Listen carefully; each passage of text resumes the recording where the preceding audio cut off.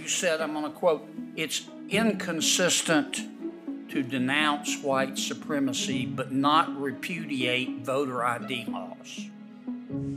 Did you say that?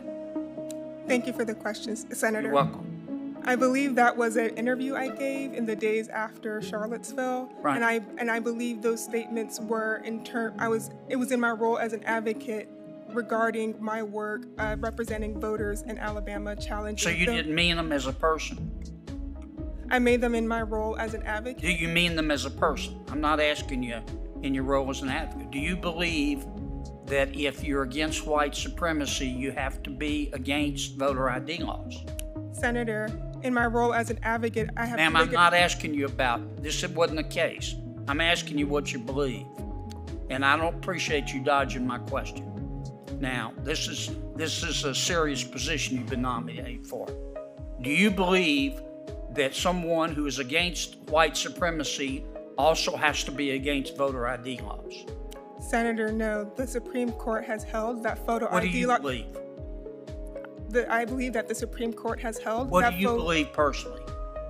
I believe that photo ID laws have been held to be constitutional.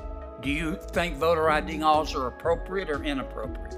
I believe those are, are questions that uh, election officials. uh, Do you believe that voter ID laws are appropriate or inappropriate?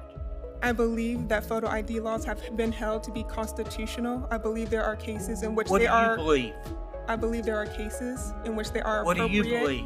I also believe there are cases What do in you believe? which they can. What do you believe? Do you Senator, believe? let her answer, please. I'm trying to. I'm trying to. We both know what's Needs going on, to- Mr. Chairman. Let her complete the Why, sentence. why, well, let me do my own questioning, Mr. Chairman.